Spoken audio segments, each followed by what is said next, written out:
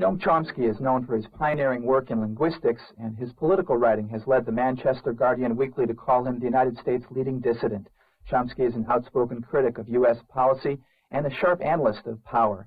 Chomsky believes that the chief export of the U.S. is terror.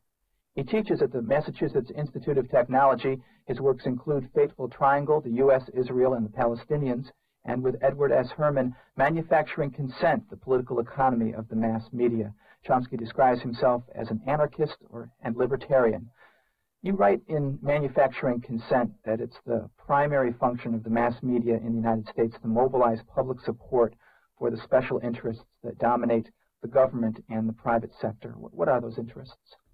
Well, if you want to understand the way any society works, ours or any other, uh, the first place to look is who makes, who is in a position to make the decisions that determine the way the society functions. Who makes the decisions to determine what's produced, what's distributed, uh, uh, basically the investment decisions. Now, in our, our society is a capitalist democracy, and those decisions are primarily centered in a, it's a moderately complex structure, but it's easy, pretty easy to identify. There's, there is a relatively narrow network of uh, corporate uh, uh, corporations, banks, uh, law firms, investment firms, and so on, and that's the center of power. Uh, they have certain. They largely dominate the political system. They staff the. Uh, they, they fill the top executive positions in the government, no matter who's in power. They the media are simply part of that system. The national media, the ones we're talking about, are uh, elite media, are just major corporations which are part of this system. Uh, they have an overwhelmingly dominant role in the way the uh, in the way life happens. You know what's what what's what's done in the society within the economic system by law and, and in principle they dominate. There's no public involvement in that, and it uh, the the control over resources and the uh, uh, the need to satisfy their interests uh, imposes very sharp constraints on the political system and, uh, and, and the ideological system. Do you believe that the media is successful at manufacturing consent? I think you have to be a little here. The problem here problems begin to arise. First of all, the media have a differentiated role. We in this book, and I and most of my research, are concerned with the elite media. Now, the elite media are the sort of the agenda-setting media. That means the New York Times, the Washington Post, the major television channels, and so on. They set the general framework. Local media more or less adapt to their structure. Uh, and they are directed to what's sometimes called the political class. They're directed to the more educated, uh, politically articulate, uh, generally more affluent sectors of the population. And the social function that they play is inculcating a conception of the world which satisfies those interests. Now, there are other media, too, whose uh, basic social role is quite different. It's diversion. Uh, so as far as the general public is concerned, they have to be marginalized, be kept quiet. So you have mass, real mass media, you know, appealing to huge sectors of the population which are concerned with uh, sports, uh, movie stars, crime, sex, and so on. And they actually, very often turns out that there's more, that they are more open to dissident and critical voices than the elite media because their their role in ideological control is quite different. Now, I don't want to suggest too sharp a difference, but at, a, at first approximation, there are at least these two major differences. And our concern here was primarily with the elite media. And do they satisfy their, well, I think among the educated elites they do very, very extensively, not among the general public. Could you give an example of how they have manufactured consent on an issue?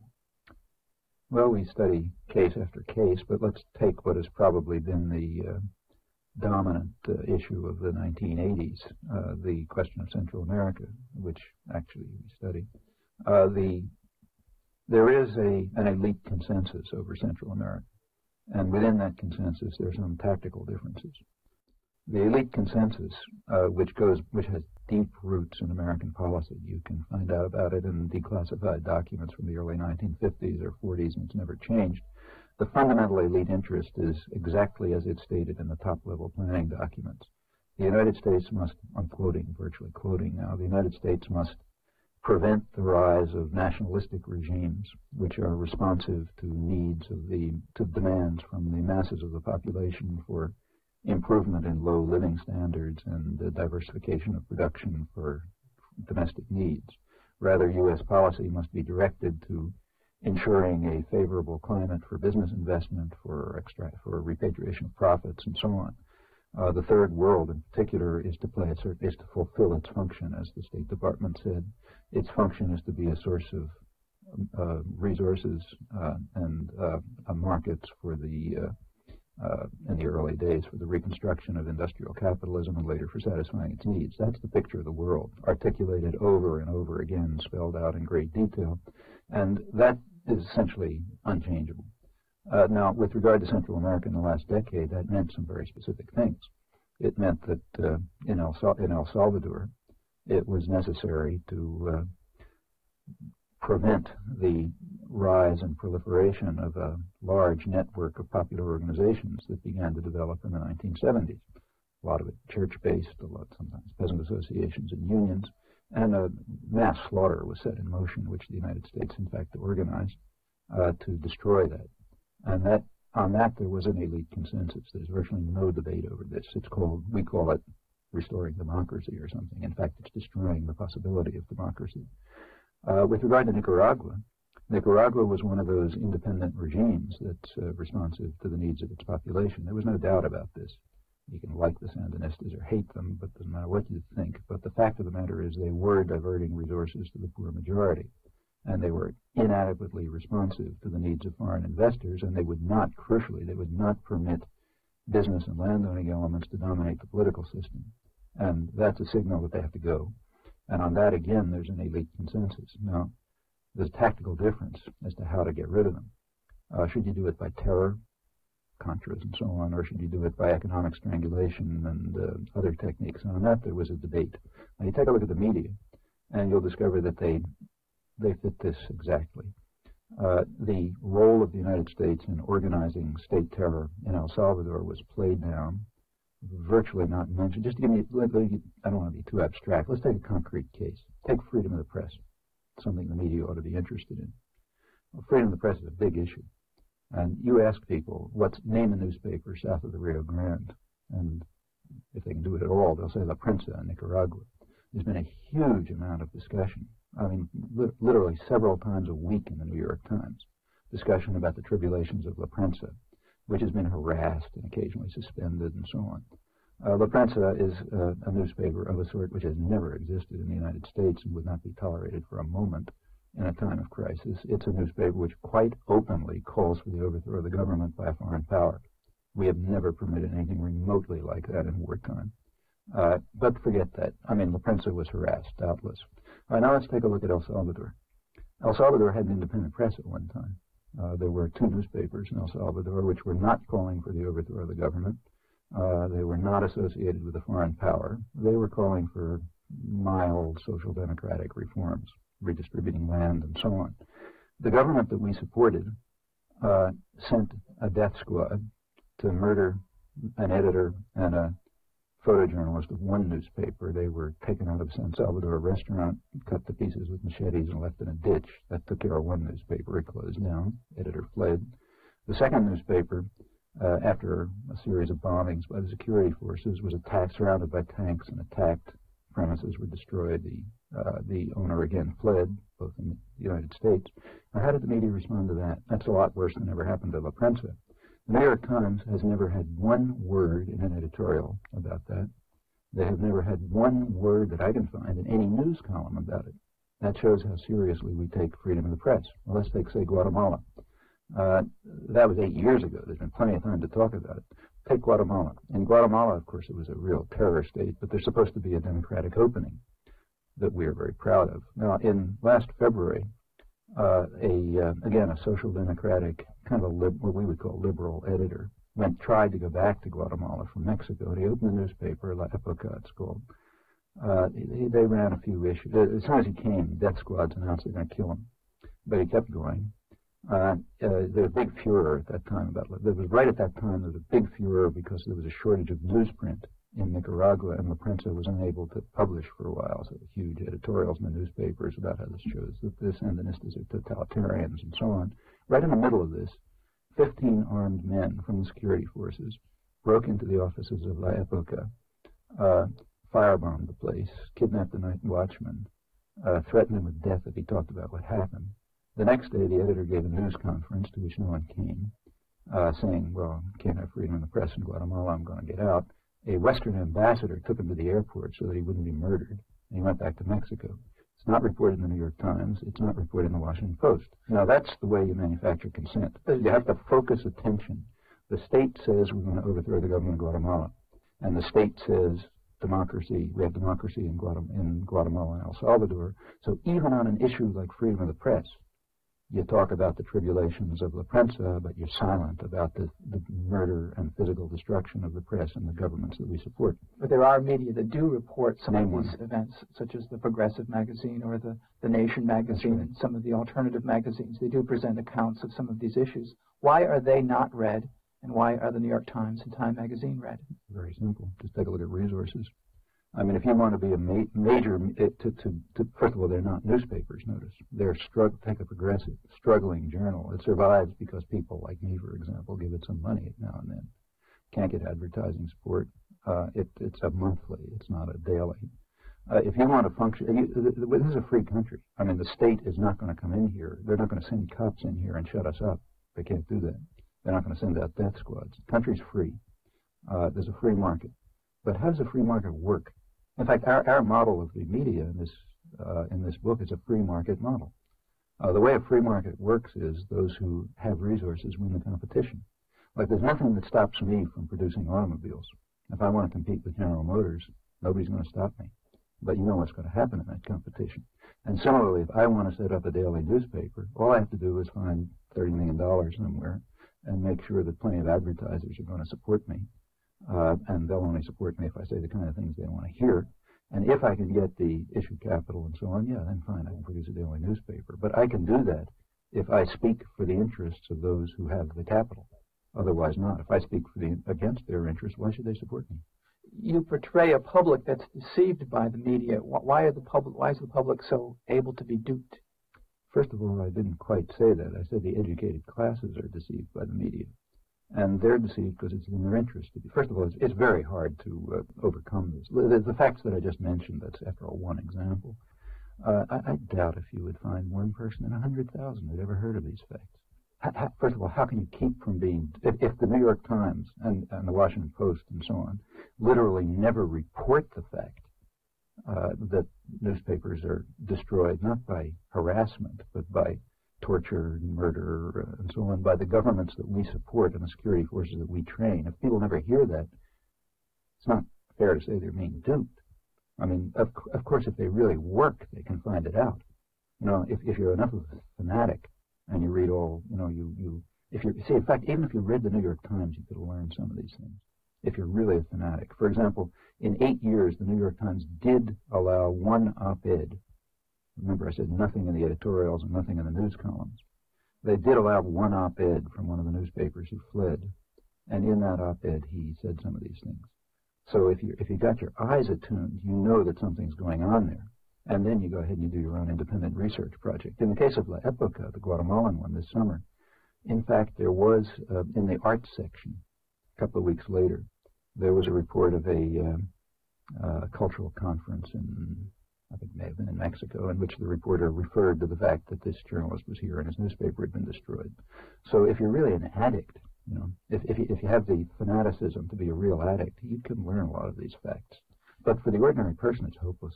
It's Seattle Afternoon. We're speaking with Noam Chomsky. I've also seen studies that show that there's a, a, very low rate of confidence in the mass media. People don't really trust the mass media. How, how can that be, and at the same time, the mass media be able to manufacture consent?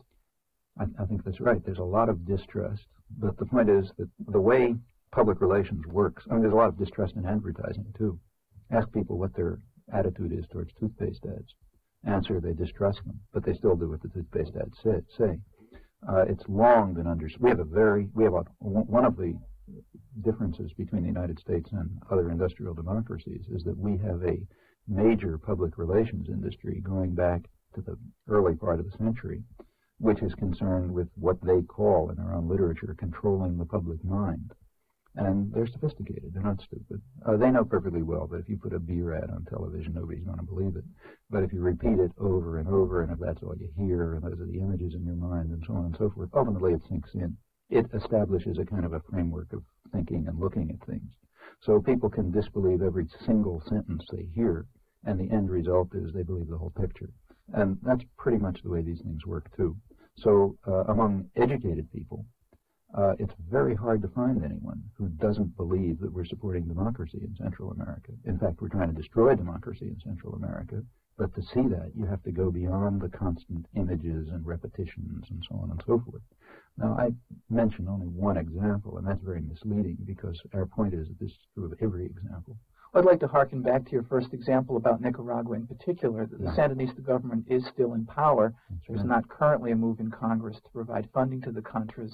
That might belie your point that, the, that there's a consensus that's been manufactured in any effective No, fashion. remember what I said. I said there's always been a tactical debate over how to strangle and destroy the government of Nicaragua.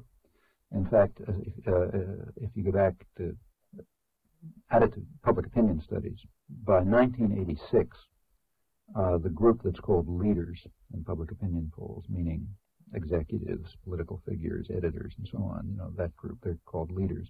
They were about 80% opposed to Contra aid in 1986. The reason was that they considered it not a cost-effective method.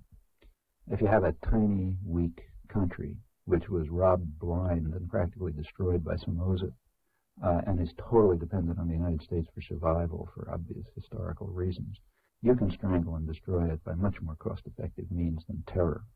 Terror is of, only of interest to people who kind of like torture for its own sake. If you're a rational imperialist, uh, there are much better ways to do it. And as much as 80% of the leadership element thought we should use other ways. Now, that being the case, the media reflected this debate. I, I've done a lot of stu- careful studies of opinion columns and editorials in the two major newspapers, Washington Post and the uh, New York Times. That doesn't happen to be in this book; it's elsewhere, and it's very interesting to look. I mean, there, you know, the, cut, the the amount, the number of opinion pieces on Nicaragua is just amazing, way beyond anything else. I mean, in one three-month period that I looked at, there were literally 85 columns in the Washington Post and the New York Times on the issue of Nicaragua. Now, of those 85 columns, this was early 86 when it was sort of heating up. Uh, of those 86 columns, that includes their own columnists and, and op-eds, uh, 80, 100%, 85 out of 85 were anti-Sandinista. That wasn't even a topic. That uh, includes the op-ed pieces. All the op-ed pieces, all the op-ed pieces and their actual columnists. Uh, they were divided over how you get rid of the of the of the Sandinistas. Some said about I think maybe two thirds were pro Contra at that time. About one third were anti Contra, but anti Sandinista, hundred percent. Uh, particularly striking was the issues that they looked at. So there's there's one there's two very striking differences between the Sandinistas and the governments that we support, and this is not debatable. Everyone agrees with the facts. One difference is that, as distinct from the governments that we support, the Sandinistas don't slaughter their own population. Now, that's not debatable. Uh, you, uh, you take, I mean, unless you're a real fanatic, you don't question that. Uh, you may hate them, you may think they're fascist totalitarians, whatever you like, but they have not slaughtered their own population. In fact, the number of civilians killed by the Sandinistas is maybe in the dozens, possibly in the hundreds. The governments that we support have slaughtered them in the tens of thousands. Now, that's an interesting difference. You know how many phrases referred to that in 85 columns? Zero. That topic's off the agenda. Another issue that is not, another question that's not in debate is that the Sandinistas tried, and in fact succeeded in the early stages, to carry out social reforms, health standards improved, literacy, and so on. In 85 columns, there were two phrases referring to that fact. Now, you know, this, ref- I could go on, but this reflects a uniformity of opinion Difference which is quite remarkable. I mean, and, and that's very typical. If you take a look, I mean, one of the things in this, about half of this book, in fact, is devoted to the Vietnam War, and we cover it from 1950 up till the present. And over that whole period, what you, the most you get in the national media is debate over tactics. Your views are extremely controversial, and perhaps one of the one of the things that has been most controversial and that you've been most strongly criticized for was your defense of a, a French intellectual who was suspended from his university post for contending that there were no Nazi death camps in World War II. You described him as a sort of a apolitical liberal, And you've also been quoted as saying that you see no anti-Semitic implications in the denial of the Holocaust. Well, Could you explain that? First of all, let me clarify the facts, which are only about half true. Uh, I didn't defend any French intellectual. I defended his right of freedom of speech. Uh, what happened is that uh, this person was uh, dismissed after he had, his professor of French literature. Uh, it was back, I think, in 1979 or so. After he had been, uh, he had published a couple of pamphlets in which he denied the existence of gas chambers obscure pamphlets that nobody ever saw. He was suspended from teaching on the grounds that he could not be protected from violence. He was then brought to court for falsification of history. The court for falsification of history. He was condemned. He was, uh, to read the trial record, it was something like he was condemned for failure of responsibility as a historian, for uh, failing to use all documents properly, for he was never accused of anti-Semitism or anything like that. He was accused of allowing others to use his work for nefarious ends. Now, in my view, that's an outright scandal. Uh, the idea that the state should have the right to determine historical truth and to punish deviation from it, uh, that's a reversion back to the, the pre-Enlightenment period, or to be more modern, it's just straight Zhdanov doctrine, straight Stalinism. I was asked to sign a petition uh, uh, said very little, just uh, to the courts, uh, asking them to observe the civil rights. And like thousands of other petitions that I sign all the time for people all over the world, of course I did it. Now that petition was interpreted as being support for the person and his views. And I was then asked by the person who initiated the petition to uh, just write a statement on freedom of speech and make some truisms about freedom of speech, which I did. I was embarrassingly truistic, in fact uh, about how if you believe in freedom of speech, you believe in freedom of speech for views you detest. I mean, even Goebbels was in favor of freedom of speech for views he liked. You know? The only question only arises in the case of, of views that are regarded as, as un unacceptable or horrendous or something like that. At the end of this, I said, look, this man has been accused of being uh, a, a, Nazi, an anti-Semite. I said, if he is, that's the, the same, doesn't change the fact at all. However, those are serious charges. And then I said, I don't know very much about him, and frankly, I don't care much about him, but I have read a lot of the criticisms of him.